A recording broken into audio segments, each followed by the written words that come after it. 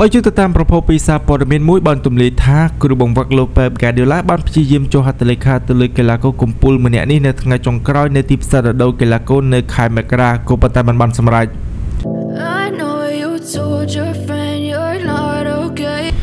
គ្រូបង្វឹករបស់ក្លឹបបាល់ទាត់ Mickey Manchester City លោក Pep Guardiola ហាក់ដូចជាបានយល់ព្រមទៅលើការផ្ទេររបស់កីឡាករ James Maddison របស់ក្លឹបបាល់ទាត់ Leicester City បន្ទាប់ពីបានមើលឃើញអំពីសមត្ថភាពរបស់គាត់នាពេលកន្លងមក កីឡាកររបស់ក្រុមបាល់ទាត់ជម្រើសជាតិអង់គ្លេសរូបនេះត្រូវបានភ្ជាប់ទំនាក់ទំនងជាមួយនឹងការផ្លាស់ទៅកាន់ទឹកដី Etihad ជាមួយនឹងក្រុមម្ចាស់ចង្អែកក្របខ័ណ្ឌ Premier League ក្នុងគោលបំណងផ្ដល់ឲ្យក្រុមរបស់ពួកគេឲ្យមានភាពល្អប្រសើរឡើងវិញ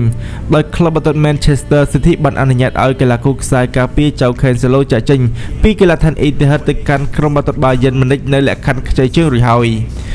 បីជាយ៉ាងណាក៏ដោយវាហាក់បីដូចជា Manchester City មិនបានព្យាយាមស្វែងរកអ្នកជំនួសតំណែងរបស់កីឡាករចៅ Cancelo នោះទេដោយសារតែមានកីឡាករ Nathan Ake, Sergio Gomez និង Emerick Laporte ជាអ្នកជំនួសវិញ ខណៈពេលដែលប្រព័ន្ធផ្សព្វផ្សាយដ៏ល្បីនោះគឺ The Athletic បានបង្ហើបថាលោក Pep Guardiola ពិតជាបានព្យាយាមដណ្ដើមយកកីឡាករ James Maddison ដែលជាខ្សែបម្រើដ៏ល្អរបស់ក្លឹបបាល់ទាត់ Leicester City ដែលបានផ្ដល់សំណើនៅក្នុងលក្ខខណ្ឌខ្ចីជើងទៅដល់គាត់ជាមួយនឹងជំរឿសក្នុងការទិញផ្ដាច់ប៉ុន្តែក្លឹបបាល់ទាត់ Leicester City បានបដិសេធភ្លាមៗដោយសារតែពួកគេមិនចង់បាត់បង់កីឡាករដ៏សំខាន់របស់ក្រុម។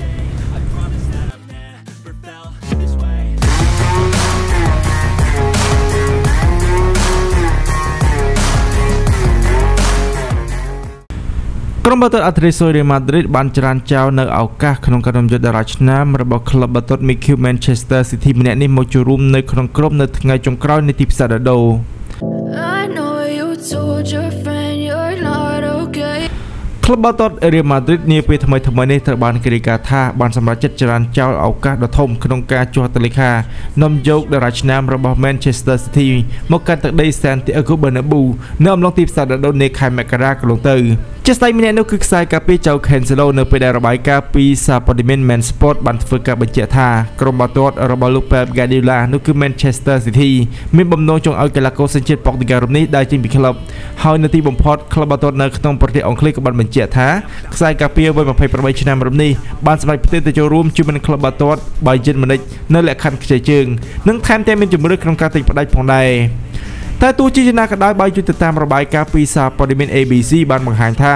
កីឡាករខ្សែការពារសញ្ជាតិប៉ុកទីហ្គាល់ចៅ Cancelo ក៏ធ្លាប់ត្រូវបានផ្ដល់ជូនទៅឲ្យក្លឹបបាល់ទាត់ Real Madrid ដោយទីភ្នាក់ងាររបស់គេនៅក្នុងអំឡុងទីផ្សាររដូវនាខែមករាកន្លងទៅនេះផងដែរ